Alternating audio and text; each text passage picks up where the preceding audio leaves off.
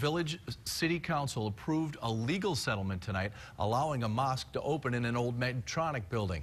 Tonight's move puts an official legal end to a two-year battle that accused the council of discriminating against Muslims. Jay Kolls was there in the very beginning when the council members objected to the plan and then again tonight to see if uh, any opinions have changed on the city council, Jay. Well, I can tell you this definitively the legal part is over. But, Bill, opinions have not changed entirely. It is clear the mayor and St. Anthony Village City Council members realized they could not fight the federal government and have decided to accept a compromise.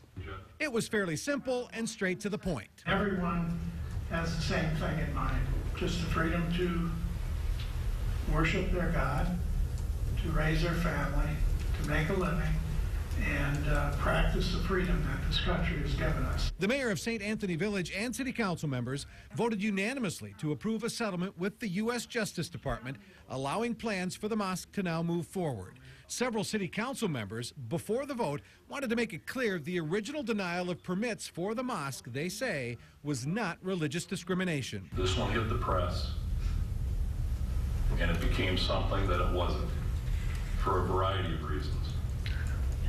The bottom line is it was a land use issue. Muslims who've purchased the old Medtronic office building will now be allowed to use a portion of the space for a mosque. The rest will be offices and other businesses.